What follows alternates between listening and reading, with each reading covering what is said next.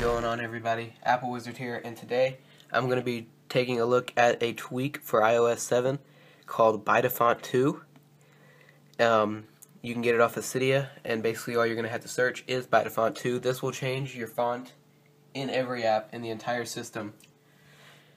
It's pretty cool. Uh, you can change it to whatever font you want. As you can see maybe here I have a more of a scribbly type font but you can change it to whatever you want. Um, there's what you're going to search on Cydia. You're not going to need any external sources. You just get it right off of there. And uh, once you have that downloaded, and after this data reloads, um, it's going to come up as an app on your Springboard. So mine's right there, as you can see.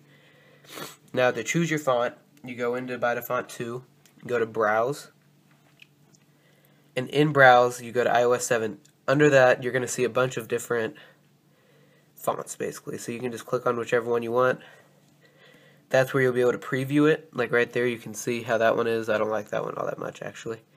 Anyway, once you find the one you want, let's say I wanted that cursive one, uh, I would go under Cydia, go into Cydia, sorry.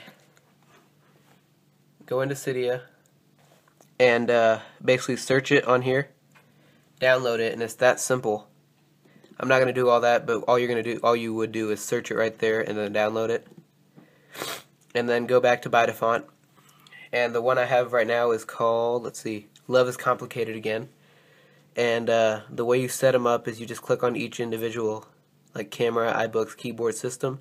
Click on it, click on the font you want, and change it for all four. Click Apply and Respring, and your whole system will have a brand new font like mine does right now. Uh, thanks for watching, guys. Please subscribe.